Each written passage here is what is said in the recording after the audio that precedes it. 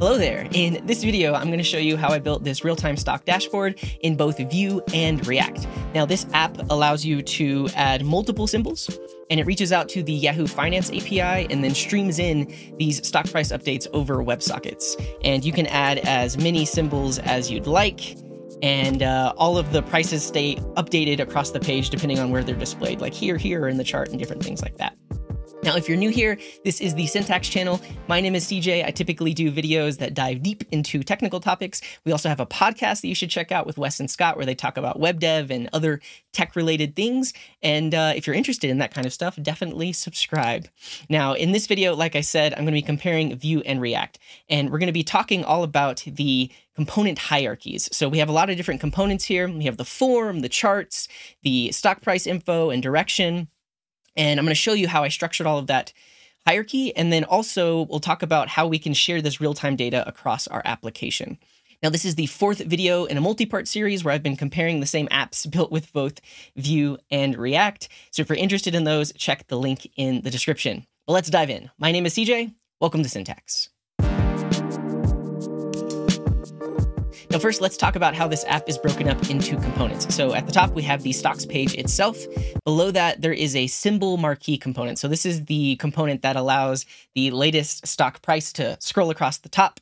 And within that, there is a symbol component, and that is the stock symbol itself, which displays the latest price and direction. And there would be multiple of those in there if there are multiple stocks displayed on the page. Below that, we have the stock symbol form. So this allows you to search for a stock symbol. If it's found, it'll allow you to add it to the page, and then we start to receive real-time updates. Once a stock symbol has been added to the page, we have a line chart component. So this has that same symbol component inside it that displays the latest price and direction. But then below that is a line chart that actually displays the real data in a line chart as it's streamed in. Now, because there are multiple components on the page that all need to receive these real-time updates, I have structured my code to take all of that real-time logic and put it into a separate library. So this is actually completely framework agnostic. I have a little file, I called it Yahoo Finance, and I expose some methods that can be brought into any component to get access to that WebSocket connection and receive those real-time updates. So there is an init method that gets called at the top level to make the initial connection to that WebSocket server. From there, the individual components that need updates can call the subscribe method. So they pass in the stock symbol name and a callback function. And anytime there's a real time update received over a WebSocket, it calls that callback. So this Yahoo Finance module basically has a list of callbacks that it can invoke with the latest data, and any component can subscribe to that. And then, of course, there's an unsubscribe method as well. So when a component gets unmounted or a stock symbol gets removed, it's going to need to unsubscribe from updates for that specific stock symbol. And then lastly, we have a close method. And so this gets called if the entire page gets unmounted. So we actually disconnect from the WebSocket connection. Now, the reason I've structured it this way is because when you're dealing with real time data in front end applications, components mount and unmount and render and re-render a lot. And so if you were to try to hold this connection within the component hierarchy itself, it could get very fragile, could get very hard to manage. And so this is a technique I've used a lot, which essentially takes all the things that have nothing to do with the component library and abstracts them out into their own module. And so this is just JavaScript. This could literally be used in any application. But now that I have it structured that way, I can start to hook up my components to use these methods and basically bring in that functionality to really any sort of front end framework. So first, let's take a look at the top level and see how that stocks page calls that init method in both Vue and React. So here in React, we have our stocks page, and this component has a list of all the stock symbols that we want to display on the page, and it keeps track of that. So it adds and removes from this state variable, but then that list gets passed down to the marquee component, so it can display all of the latest prices across the top, and then we iterate over this list to display a line chart for each one of them. Now, in order to initialize the connection to our WebSocket API, we have a use effect. And so a use effect with an empty dependency array will get called once when the component gets mounted. So essentially, when we navigate to this page, we want to connect to that WebSocket server. So inside of here, I have Yahoo yahoofinance.init. So under the hood, this is connecting to that WebSocket API. And then if we ever navigate away from this page, we need to disconnect that WebSocket. So we're calling Yahoo yahoofinance.close. Now here inside of Vue, we have our stocks page. We have a list of strings that are the symbols and we're using ref. So this is our state variable here inside of Vue. And then in order to initialize that connection to the WebSocket API, we're using the on-mounted lifecycle method that comes from Vue.js. So this is a built-in, you can call it in any component. and this will get called once when the component is mounted. And so inside of here, I have the call to yahoofinance.init. Now, when we navigate away from this page, we want to disconnect. So inside of Vue, we have an on unmounted lifecycle hook, and we can pass in a callback here. And so whenever this component is unmounted, it will disconnect from the WebSocket connection. Now, I've talked about this in previous videos, but there is a caveat of using useEffect inside of React if you are in strict mode. So our app is wrapped here in strict mode, and essentially that will show us errors early in development, but it does a thing where it mounts and then unmounts your components in order for you to be able to catch bugs to make sure that you're disposing of things in the right way. But the one issue with that is when I'm in development, it is constantly connecting and then disconnecting from the WebSocket connection. So here inside of React, if I refresh the page, you can actually see that we get an error in the console. Uh, Firefox can't establish a connection to the server, and then the connection was interrupted. Now, we don't get that inside of Vue.js because our on-mounted function is only called once. And essentially what's happening in React is it's calling connect and then disconnect in quick succession, and so that kind of like interrupts the connection. Now, after the page has loaded, we're good to go. Things still work. But this is one thing that's pretty annoying. And one way to fix it is to not call init if the component is mounted and then unmounted really quick. And so we can do that using a set timeout. So here, when the component is mounted, we create a timeout that will call init, but then if the component is unmounted, we clear that timeout. And essentially, if this component is mounted and then unmounted in quick succession, it will not call init on the first time. And so if we do this inside of our React app, now we won't see that the connection was interrupted because it won't call connect until the component is officially mounted. Now, you don't necessarily have to worry about this because it is just when we're in development, but it is very annoying to see that connection error when we're in development. So I would write the code this way just to make sure that we don't see that. And then we're not overloading their socket API by constantly trying to connect and then disconnect while we're in development. Now in Vue, we don't have to worry about this because these lifecycle methods on mounted and on unmounted only get called when the component gets mounted or unmounted. All this code that we have written in the script runs once when the component is created. So there's not a similar thing, whereas in React, that use effect gets called on every render, but it knows not to reinvoke its method if the dependency array hasn't changed in Vue, we don't have to worry about that. Essentially, we just pass in our function to on mounted, on unmounted. There's no extra calls that are going to happen that are outside of our control. Now, if we want to add a new stock symbol to the page, we have our symbol form. And like I showed, the list of stock symbols is stored at the top level. So essentially, we need to pass down a method to the symbol form that it can call to add that stock symbol if it's valid and if it should be added to the page. So here inside of React, you can see we have an add symbol method. This essentially just takes in that stock symbol and puts it on the end of the array.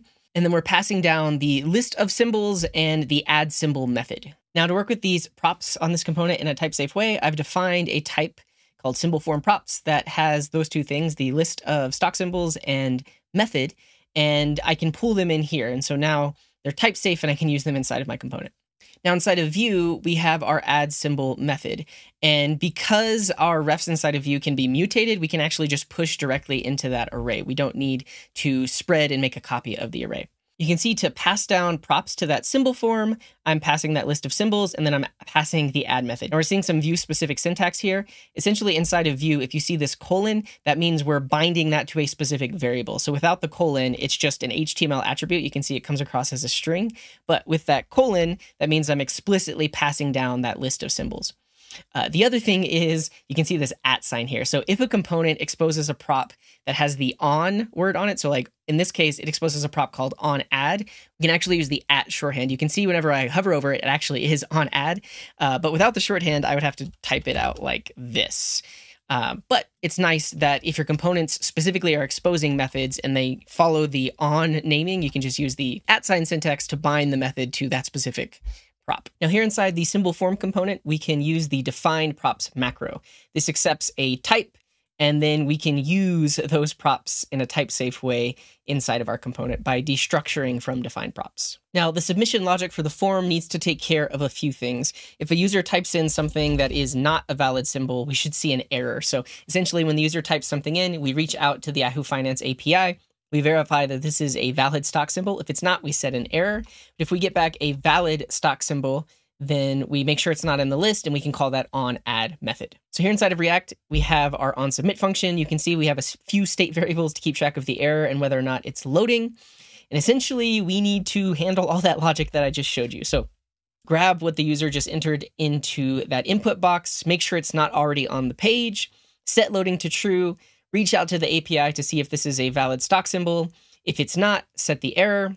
If it was, call the add method, reset the form, and then focus that input. So one thing is after someone types in a stock symbol, I want to be able to type in another one right after that. So you'll notice after I type in Microsoft, I can still type into that input box, and that's because we're focusing it after resetting the form. Now here inside of Vue, we also have an error state variable and a loading variable, and our handle submit function is almost exactly the same, except we're using the reactive variables instead of using the set methods. You'll notice again, we call form reset, and then after that, we focus the input. Now, in order to focus this input, you might have noticed in the React example, we use set timeout. So there's nothing built into React to essentially say, run this code after everything has settled, right? After all the state updates have been made, after the DOM has been updated, that's when we want to focus the input. So in this case, we're using set timeout. Essentially, that adds it into the event queue.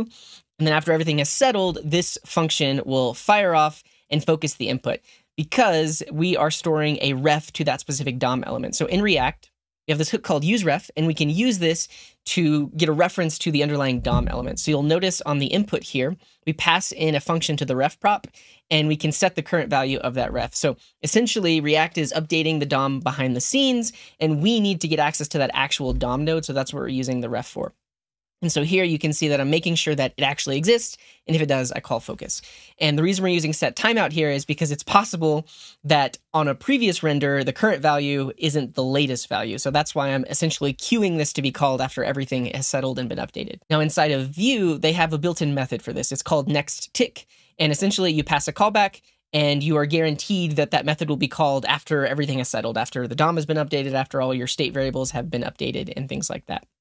Now, to store a ref inside of Vue, we can just use the same ref that we use for state variables and then pass it into the ref prop on an input. And under the hood, that's going to set the value of that ref. So at this point, after the user has added a stock symbol to that list, it's going to appear on the page because we're passing down that list to the symbol marquee, which is going to create a symbol component for each one. And then we're iterating over that list in the page to show a line chart for each one. Now, when each of those components mounts, it's going to call subscribe via the Yahoo Finance API. So it's going to pass in that specific stock symbol and a callback function that'll get called anytime there is a real-time update. So first here in React, you can see we have this symbol marquee component and we're just passing down that list of symbols. Inside the marquee component, we've received the symbols as a prop and then we just iterate over them to show a symbol component. Now the symbol component actually displays the stock symbol name, the latest price, and then the direction of the price. Is it going up, down, or staying the same? So this is the symbol component. It exists there inside the marquee, and then it's also going to exist on each of the line charts as well. And there's one symbol component for every stock symbol that's been added to the page. Now inside this component, we have two state variables. We have the stock itself, which is the latest update that we've received from the WebSocket API. And then we have the current direction that the stock is going. Is it going up, down, or staying the same? Now, when this component mounts, we want to subscribe to updates for this specific stock symbol. So in React here, we're using a use effect. You can see that we're passing in two dependencies, the symbol itself, and then our on update method. And so when this component mounts, we want to subscribe to updates for that specific symbol. And when it unmounts, we want to call unsubscribe. Now, in this case, we're passing that on update method. And in order to subscribe and unsubscribe, I need to pass the same reference to that function, right? Because later on, when I call unsubscribe, on update needs to be the exact function that's been passed to that library to make sure that it actually gets unsubscribed and, and, it stops being invoked. So in React, we use use callback to basically cache this method here because we're passing in an array of no dependency. So the value that we get back here is always going to be the same. So when we subscribe and unsubscribe, we're always passing in the same reference to that function. Now inside of Vue, you can see I also have a symbol marquee component and I'm passing down that list of stock symbols. Inside the marquee component, I am iterating over that list of stock symbols to create a symbol component. Now you'll notice in this example, when I'm using define props, I'm not actually destructuring it or putting it into a variable because by default, if I don't need access to those props inside of my script here, I can just reference them inside of the template and I'll have access to them because this is a compiler macro. You'll notice that I'm not importing this from anywhere. Essentially, whenever our code gets built, this is all going to be replaced with the correct code for actually pulling in those props and making sure that that prop variable exists inside this component. Now, inside the symbol component, you can see I have two state variables. I've got the latest stock update. So this is the latest update that we've received from the WebSocket API. And then I also have the direction, which starts off as none. Now, the props in this case are just the stock symbol, which is a string, so I'm destructuring that from our define props macro. And then when this component mounts, we want to subscribe via the Yahoo Finance API. So when it mounts, we say Yahoo Finance.subscribe, pass in that symbol and the reference to our on update function. And then when the component unmounts, we want to unsubscribe. So we do the exact same thing. Now, in this example, because this code inside of Vue.js only runs once, the reference to our on update function stays the same, right? I can pass it in in both places and it's the same reference to the function. Whereas in React, we had to use use callback to make sure that we're caching that value. So on subsequent renders, we still have access to the original value that we specified there. Now let's take a look at that on update function inside of React. So this callback receives the latest update via the WebSocket API. So it's going to call this function, pass in the latest value, and then we can do what we would like with it. So in this case, when we receive an update, we want to set latest on our state here. So we're calling set latest, but we also need to keep track of the direction. So we have the latest value, which we just received via the WebSocket API, and then the current state value. And so essentially we can compare those two to determine what the direction is. Now, if the price hasn't changed at all, we just leave the latest stock value as it is. But if it has changed, we calculate, did it go up, did it go down, and then we set the direction as well. Now, inside of Vue, it's very similar. Check to see if the price has changed. And if it has, we'll get the direction that the price is going update the direction value and update the latest value. The major difference here is we're not calling our setter functions. We can just modify those state variables directly. Now, finally, we can talk about the line chart component itself. Now, just like the symbol component calls the subscribe method to get updated about the latest stock value, the line chart does this as well, except it needs to keep track of the history of values so that it can display that line chart. So I showed you the symbol component first so you can see the basics of subscribing, but now let's take a look at line chart where things are a little bit more complex. So here in React, inside the stocks page, we're going to iterate over that list of symbols to render out a line chart. Now we pass down a color, which we just fixed to a static value.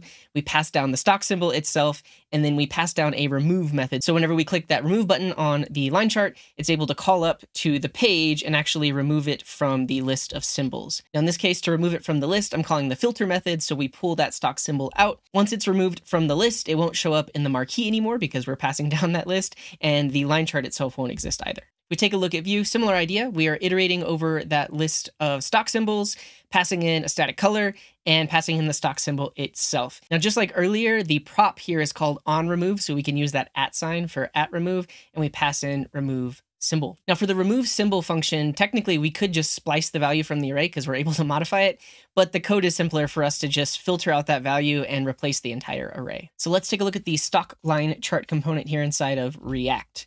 So first we have our props. We're taking in that color, that stock symbol string, and then a removal function we have two state variables, the direction that the stock is moving, and then also the stock info itself. So stock info is a custom type that keeps track of the latest stock info, and then all of the information that we need to actually render out the chart. So we have a list of labels. So those are the labels along the x-axis, which are the time for each of those stock updates. And then we have the data set.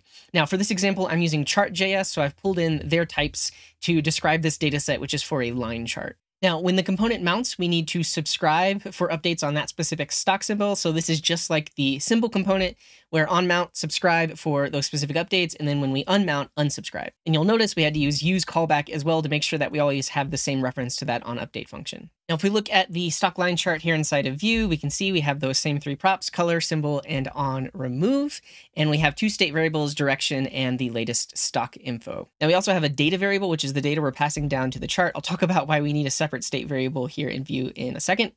Uh, but just like the symbol component on mounted, we want to subscribe to updates for that specific stock symbol. And when it's unmounted, we want to unsubscribe. Now, if we take a look at the render function here inside of React, you can see that I'm bringing in this line component. And this line component comes from React Chart.js 2. So I'm using Chart.js in both examples, but I've found a third-party library that wraps Chart.js to work with both Vue and React. So in the case of React, we're using React Chart.js 2, and they expose some components for us. So that way we can literally just pass down our options and our data, and it'll render out the chart for us. Now in the Vue example, we also have a line component, and this line component is coming from Vue Chart.js, and the props are exactly the same. We pass down the options and also pass down the data.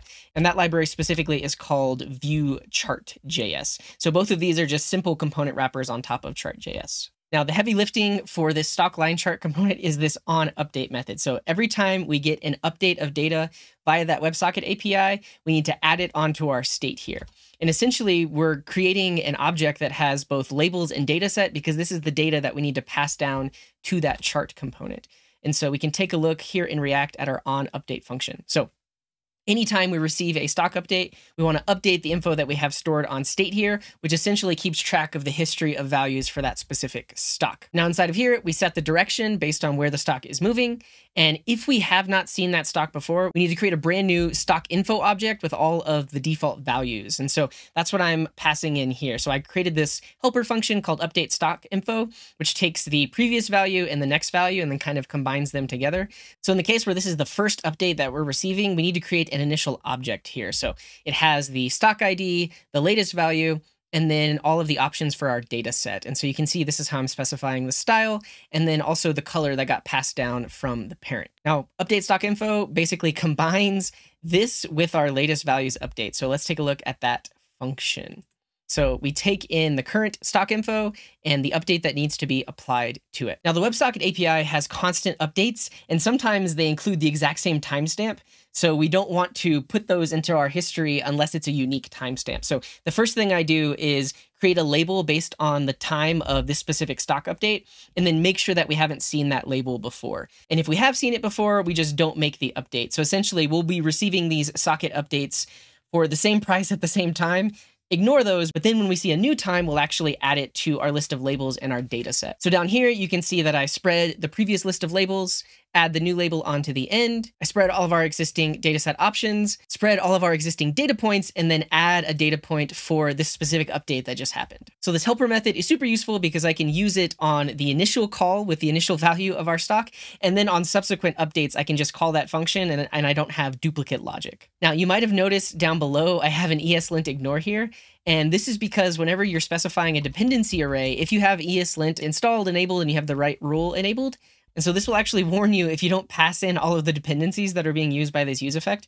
And so you can see right here, it has a missing dependency color. Now, I know that the color prop is not going to change. It's always going to be the same one that was passed in. And I don't want this update function to get recreated. So I'm basically just ignoring that rule and saying, hey, I, I know I'm always going to use the initial value that was passed into this component, so no need to track that dependency. So let's see how the onUpdate function works here inside of Vue.js. So when we receive that WebSocket update, we're first going to grab the label that we're going to use to pass into our chart data. And if we have not gotten an update before, essentially this is the first update we're getting from the WebSocket API, we're just going to create some initial options. And so this is a helper function, very similar to the last one I showed you, but this is for creating those initial options. So you can see I'm just creating my options that need to be passed into the chart here. And the one thing you will notice is for data, I'm actually using mark raw. Now, this is typically not something I have to reach for whenever using Vue, but sometimes when you're interfacing with a third-party library, they don't work very well with reactive variables. And because our info variable here is a ref, which means it's a reactive variable, this data property is also reactive because it's it's deeply reactive. And when we pass this to the underlying chart library, it doesn't know what to do with all those extra props that are basically there for keeping track of reactivity. So for this specific example, I'm saying mark raw, which means this nested prop here will not be a reactive variable. So that way there's not all the extra properties on top of it. And I have some code that will have the latest value itself. So the underlying component can still get those state updates without this actually being a reactive variable. So that sets the initial value. And then we have our data property, which we're actually passing down to our line chart. Now, because Vue.js specifically works off of reactive variables, this is why I had to define data as a separate reactive variable. So I have my data defined here. If I were to pass this data directly down to the prop here, it wouldn't actually receive the updates because this render function doesn't get called over and over again like it does in React. It's only going to get called specifically if this data has changed. So in order for the latest values to be passed down to that line chart to actually see those line chart updates, we have a separate reactive value that I'm just overriding anytime we get some new data. If you contrast that with how we're doing it in React, we are just directly passing down the data here. And that's because this render function is going to run every time we have a state update. So it's always going to be passing the latest data down to that component. Now, if this is not the initial update from the WebSocket API, we'll actually update the existing data that we have here in our component. And so here, if we have seen that label already, we don't do anything because that means the current update has the exact same timestamp of one that we've already seen. But if not, we can just update our state variables. So we update the direction, set the latest value, and then we can push in the latest label and the value for our data set there. And so that's pretty much it. Essentially, this component is just sitting here waiting for these updates. Once it receives new data, it updates the labels and the data set, and then the underlying line chart receives that latest data and shows the updates on the page. Now, my least favorite part of the React example is that I have to manually opt out of uh, the dependency tracking here to make sure that my linter isn't yelling at me. And these state updates are immutable updates. And this is just how React works. It works off of immutable data, but you can notice here that we have some deeply nested data that we're having to spread. Now, there are libraries you could reach for that would make these state updates a little bit better, but these are deeply nested state updates. So every single array that has a new value, I need to spread the previous one. And every object that I'm updating, I need to spread the previous one as well. So this is pretty cumbersome that we do have to do that immutable update here. Now in the Vue example, I like that we don't have to have a use callback here for on update, right? I can just define my function. I don't have to do anything special with it. And then when I'm updating my data set, I don't have to have that immutable update. But I did actually have to reach for some things that a lot of Vue developers might not know about, like this mark raw function and I had to keep my data in a separate variable here in order for the line chart here to see those latest changes. So what are some final takeaways here? Ultimately, the implementation of both is fairly similar, and that's probably because I wrote it. and uh, I actually went through multiple iterations in refactoring to kind of like get the code in the best place that I thought it could be. Um, but probably the, the most cumbersome thing about working in the React example is with all of these use effects and also use callbacks, to make sure that things don't get called over and over again, and also make sure that we're always using the same reference like with use callback. Now, a lot of the heavy lifting was actually done by extracting a lot of this socket management log logic into a separate module, right? I didn't have to do it directly inside of React or directly inside of Vue. And in this example, I pretty much did that so that we could have a closer implementation to compare and contrast. But I have worked in React code bases that are dealing with real time and they try to handle everything directly inside the component. And that gets even messier. You have more use effects, more use callbacks, and it's a lot to work with. Now, for this example, I purposefully didn't use a global state management solution like I did in the second video in this series because I really wanted to isolate showing you like component hierarchies and then also like how do we work with external libraries and async data. But I want you to imagine a code base that kind of takes all of the things that I've done in all of the examples, like global state management, local state management, uh, async requests, component hierarchies, and then combine them together in your mind because that's closer to what you'll be working with in the real world. It's not going to be these little isolated examples like I showed you. It's going to be much more complex and combined together. And in my experience, that's when things really start to break down. That's when your application logic gets really complex. You have multiple use effects, you have context being used all throughout your application, and ultimately the code base becomes very complex. And so if you take away anything from this video or the other videos videos in the series, I just want you to see how, in a somewhat simple example, how things start to snowball. How we have use effect on top of use effect on top of use callback. And in larger code bases written with React, this stuff starts to get out of hand fairly quickly. Now, in the Vue examples, the biggest thing that stands out to me is just how nice compartmentalized and labeled everything is, right? We don't have just a single method use effect for everything. We have specific methods to do the things we want to do, like on mounted or on unmounted or watch or watch effect or things that, that have a specific name that are going to do that one thing. And also, we don't have to worry about the code at the top of our component running over and over again. It runs once on create,